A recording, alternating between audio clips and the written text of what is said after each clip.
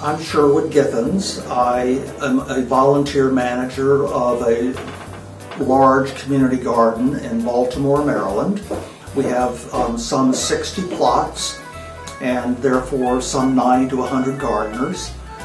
And the expertise I've gained in being a volunteer manager, plus my prior gardening experience, uh, have I've put to the test here at the Little House on Lovers Lane in, in Dallas, Texas. Given the plans that Patti had of the lot, I devised a, an arrangement of three four feet by 24 feet beds, which have been constructed over the past week. Two of the beds are on the ground, one will be raised to allow people who can't lean over easily um, to have access to, to gardening.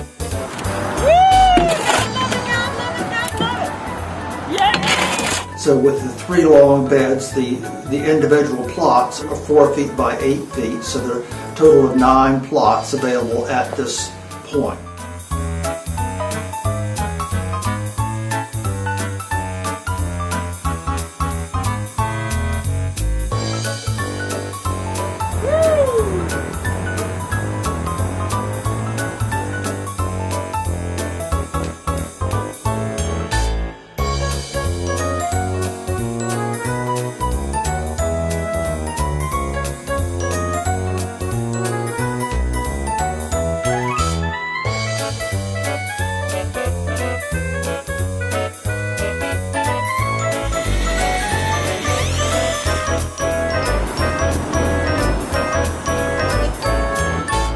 The neatest part about this is that we will have our drip system that will do a certain amount of water for each garden and that way we will conserve the water and we will protect our plants so that they'll be able to be fully watered during the heat of the summer.